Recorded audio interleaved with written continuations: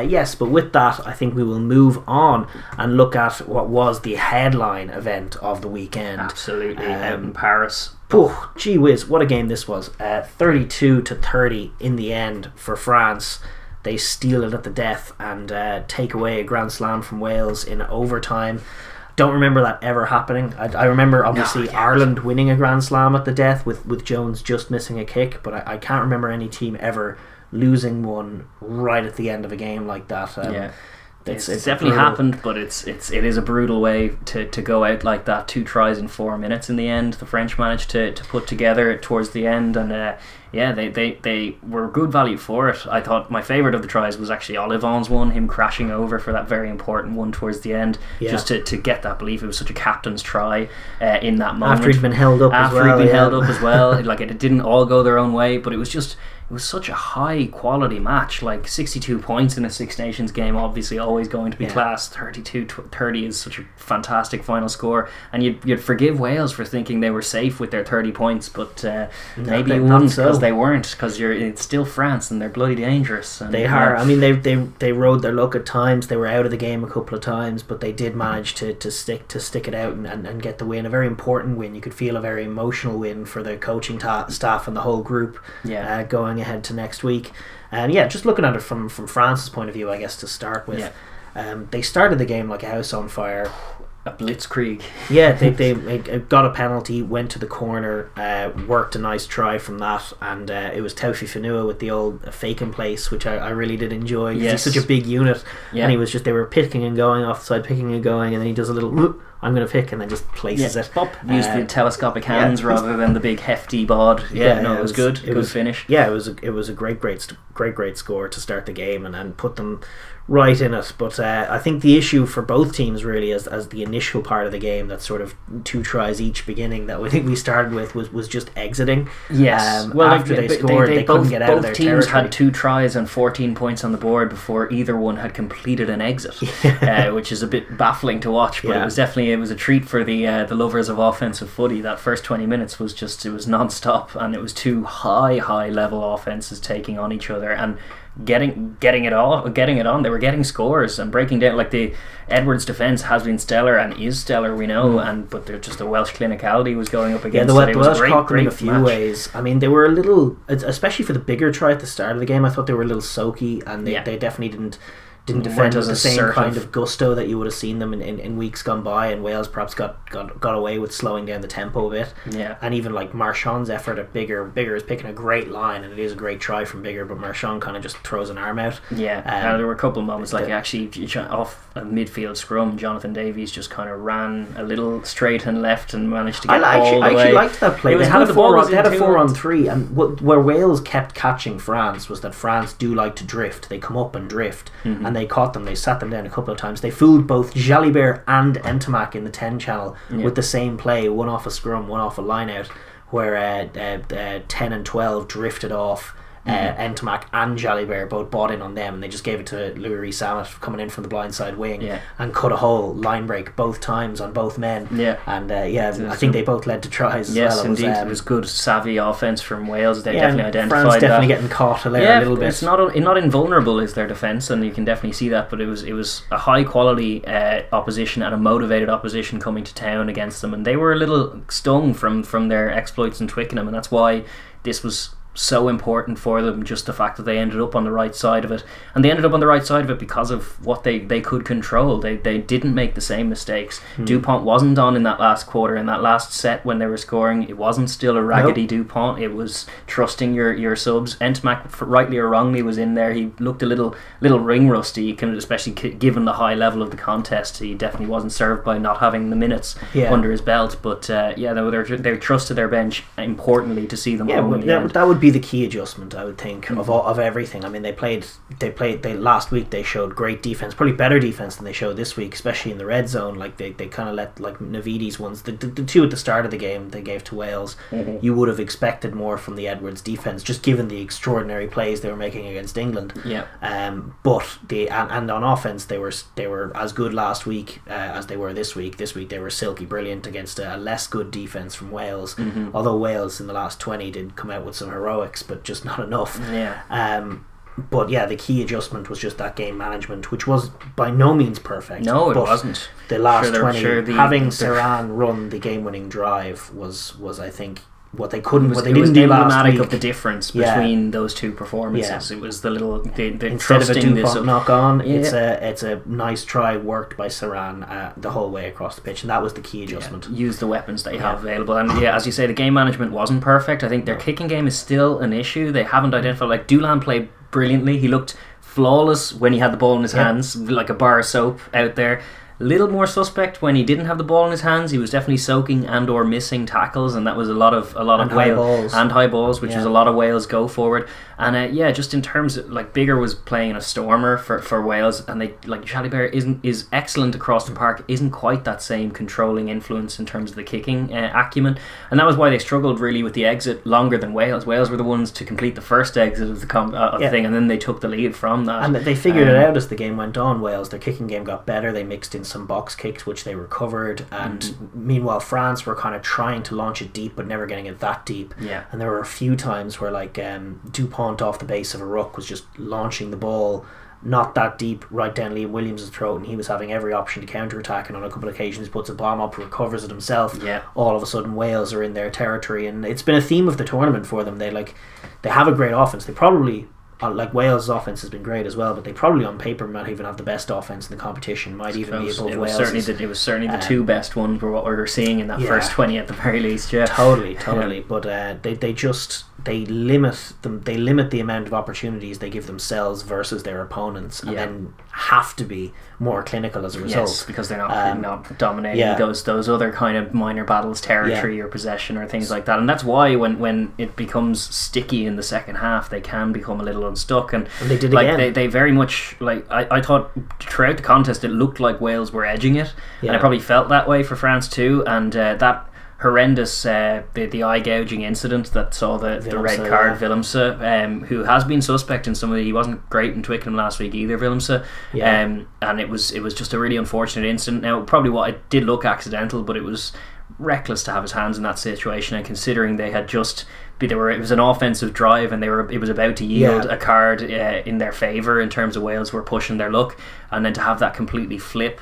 Um, that could have been the losing of the game right there, and, and arguably from a Wales point of view, probably should have been. Wales uh, were Yeah, at totally. fault, were at fault for not not really playing playing within themselves towards the end. Uh, as soon as that red card happened, they really kind of Melted down. melted down a little. yeah. But it, but it was on France to try and execute. They were still two tries adrift with, with like five or six left on the clock, and yeah, it took More than that, took they, something they took special. they took a while to get that Ollivon try. They got held up. They Yeah. went for it again. They they they uh, Serin had a bad play where he coughed up the ball. yeah. Then they went again, but they Wales didn't didn't help themselves, and France got kept getting chance after chance, and they did break through. And uh, yeah, Ollivon gets the captain's try. They actually they move the ball really well from their own half, get up to the halfway line. Antonio knocks it on. All is lost. Mm-hmm. Yeah. Then they get the penalty, and then from that line out, they just very simple. You know, Wales now had two in the bin, Mm-hmm. um, so they had the extra man. And with a with a wider field when you're only 14 Yeah. versus 13, God, so they just used just- the right of the pitch, probed the extremity there, um, forced Wales to, to narrow up, and then ex- flawlessly executed uh, a really long sort of overlap. It was like a one man overlap over half a field. Yes, Um, it took a good pass, and it took a little. Fickou and and Vincent yeah, were the key men between there, the two yeah. of them, they did proper textbook centering there, where they both squared their man off before giving the ball, and the ball like they, it was it was easy to ship that on. You'd see lesser lesser uh, backline units just kind of shirk their their responsibility to fix the man and just kind of ship that along and put the finish under pressure. There was no hint of that at all. In fact, Fickou's little touch was pretty silky in the midst of all of it, and it made doubly sure that Dulin wasn't going to be touched, and Yeah. uh, and uh, nor was he. And it was a deserved match-winning try for was. Dulin, who had been like he well, he did struggle under the high ball, but gee whiz, some of the plays out of him. I think of like bursting out of his own goal line. Yeah, that was um, the little yeah. chip for uh, Dupont's try in that early uh, blitzkrieg exchange from both teams. Yeah. Just f- isolating the backfield, perfect little chip for for uh, Jalibert to flick it in for Dupont was just perfect. He was. He was electric on the ball, and he gave them that sort of offensive Zip. rhythm and Yeah. zip that they yeah, absolutely needed to, to, to open up Wales on multiple occasions and steal a bonus point win at the death was yeah it was it was great clutch and listen they kind of lost it a couple of times before they won it but they did do well to go and get the win, and and, and it was it was rem- a remarkable last phase set Yeah. and just Oh, joyous it's- in terms of kind of in terms of the uh, spectacle yeah. and what you want Six Nations Oh. footy to be about, like uh, the attacking chops, the defensive hustle, the bravery, the controversy. It, it had it all as far Yeah. as a main event for Super Saturday, and France coming out the right side of a result like this is is only good for this this young yeah, French team. you feel after last week as well they were they were definitely struggling. Like they had that, that game against Ireland where the last twenty was was not great. No, and like they they, were to stuttering. sick. Like, Yeah, they like kinda felt like they were gonna lose choking under the Yeah, pressure yeah. of it. Yeah, no, they, they definitely they still have ways to go in terms of ironing out that and and, st- and Yeah. stamping their confidence on, and then even kind of refining their game a little bit, like things like the kicking game, things things like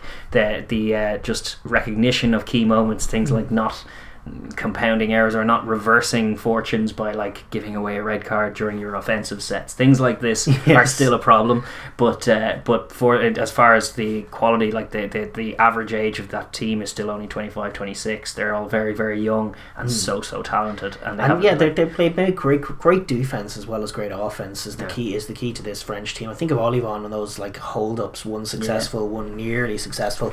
Absolutely, Um, but yeah, bigger bigger like- did well to get it away. But the first, the first one was such a technical Yeah. thing to wrap up. This was it. Was it Williams who was who was over the line? I I, think it might have been. but yeah, but no, it was, it was Davies, wasn't it? Uh, Yeah. Gareth Davies who started. Yeah, no, it was just a really perfect. Like the last time I've seen a technical one like that was Beauden Barrett down, and so he's also good Yes. at the last ditch kind of wrap the man up and hold the man up tackle. Very technical. Ollivon is a true captain for them, and then similarly beside him, Alldritt was uh, was key to them all day as well. He was very very defensively robust and carried ferociously throughout the tournament as well. Yeah. Um, Um, so yeah, it, it was very much it was very much deserved in the end, and they will have they have things to iron out in the kicking, and they'll have things to iron out in their defense for once because despite all the great hustling defensive plays, they're a little vulnerable off first phase, They are. and as such, they need to. Um, like I think getting Vincent back in there, I think he was missed despite was. how good Vakatawa was.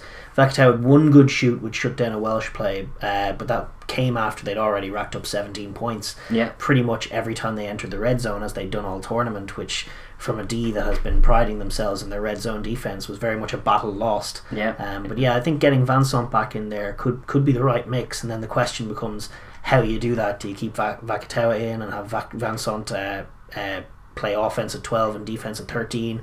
Or do you and move Fickou to the wing, or what do you do? They, they have options, but They they, do. do need they do little bits to improve on.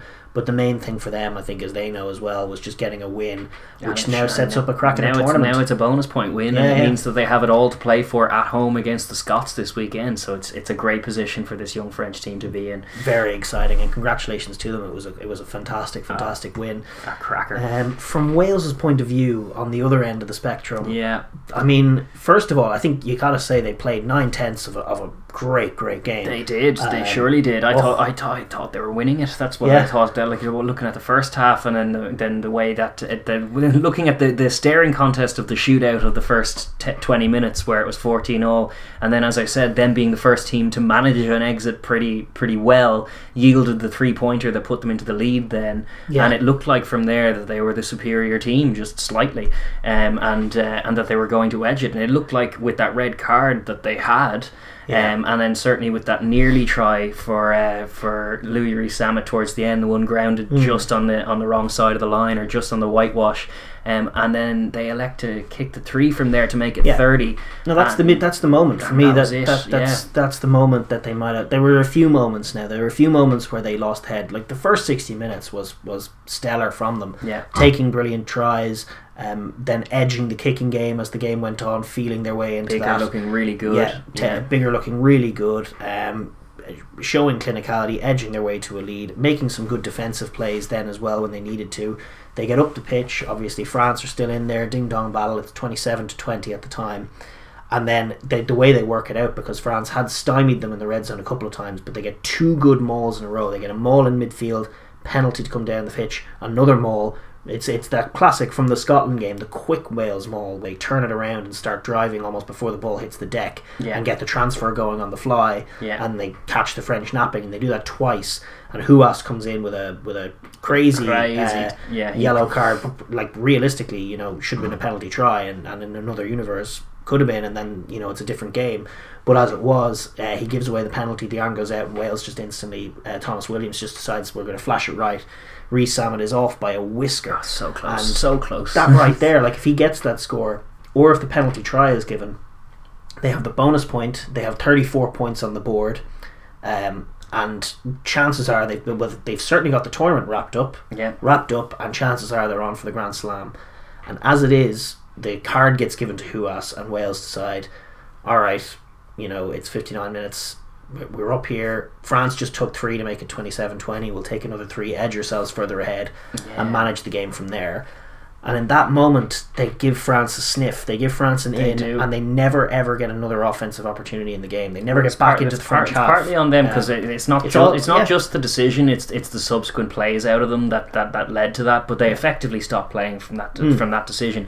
And you got to think like it's not just the usual like we're going for a grand slam here, so you kick to get us out of one score range. I understand that line of thinking, which was definitely the line of thinking that saw them kick that goal.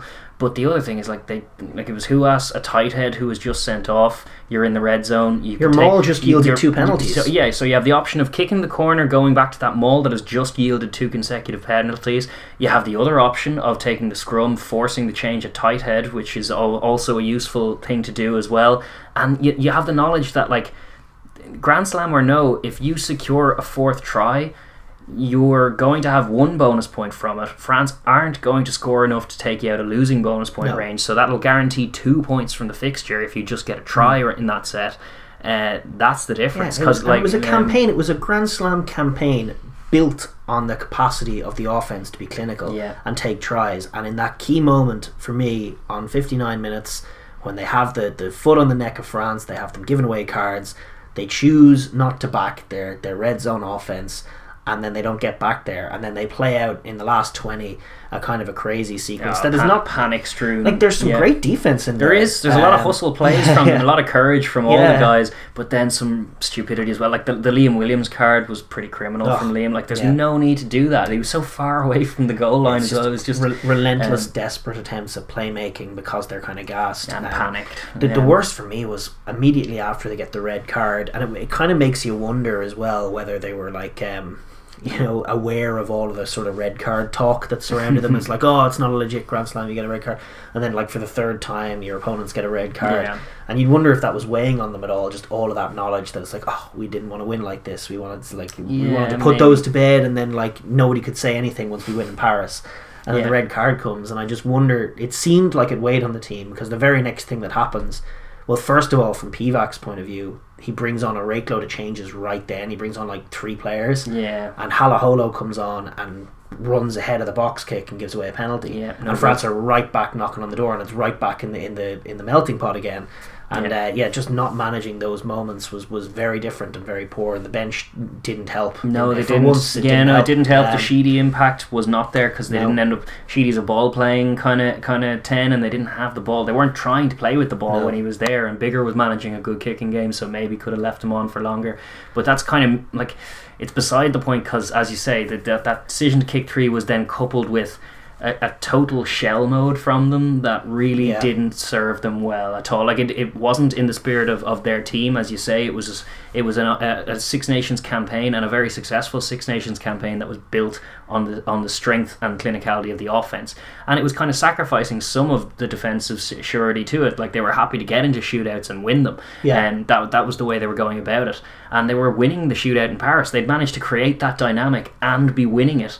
And then just yeah, for the last, it's so difficult when it's a. There's nothing worse than a one game. You see it in uh, sometimes in, in pool, which I play as well, when you're when you're like seven racks to one up, and then suddenly like it's a race to eight or something. Suddenly you can't actually make a ball. All of a sudden the concentration goes, and the guy starts coming back at you. Like it was little things like that. Like they just stopped. They went into shell mode, and then they couldn't Hmm. couldn't coach themselves out. Nor could they. Like a lot of credit has to go to the way the way France did get after them then, because France are, attacking Yeah. attacking minded as well, and they were being true to that. Yeah, and they're one of the few Um, teams who could uh, make like a couple of scores in, in, in five minutes because for much of that defensive set, it looked like Wales were kind of just holding on and they, they managed to hold, hold up the French a couple of times They over did. the line, slowed everything up, never gave them anything easy, did kind of lose discipline and lose shape in that way. Mm. Like they were just bodies were knackered They as well. They were very raggedy, They were yeah. very slow to get up after making tackles, which Yeah. wasn't like them. But they did make relentless hustle plays. But eventually the dam creaks. It's a one-score game after Ollivon scores, and then France break out, and it doesn't look like they have much in the way of time.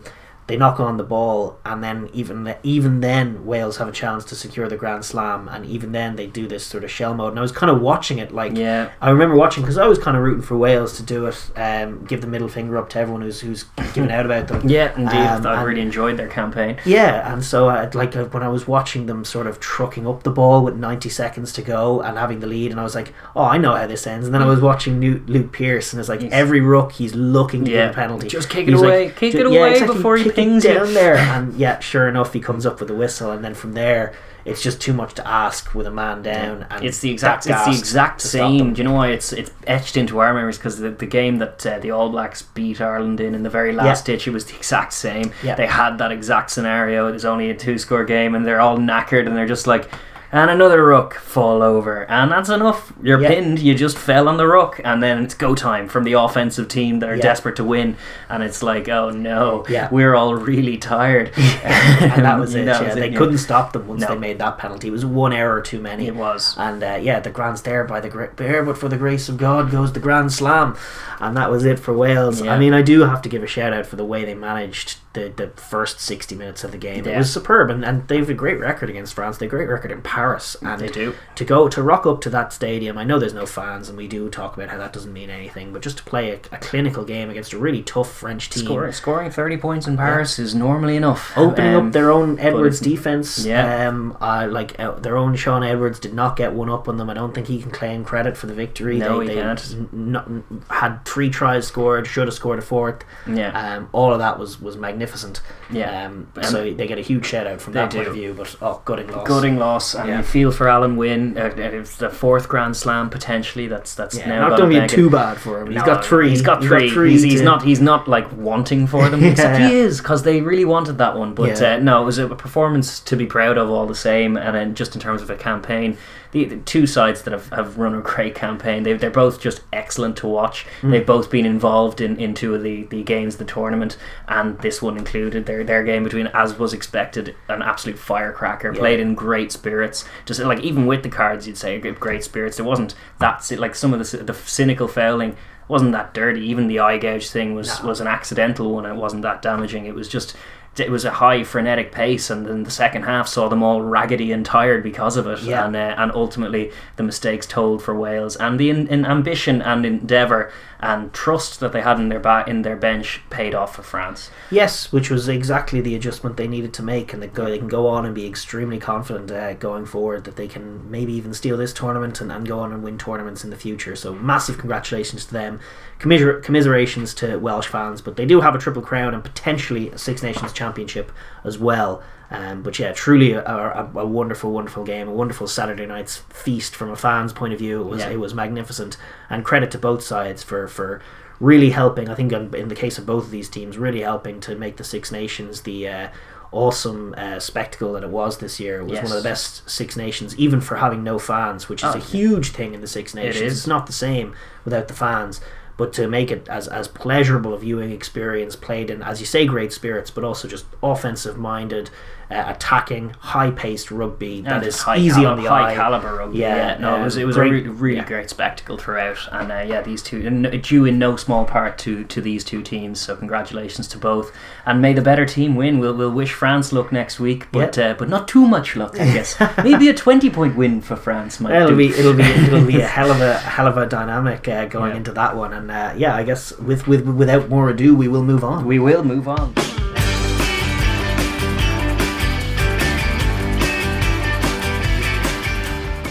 Thank you very much for watching that video.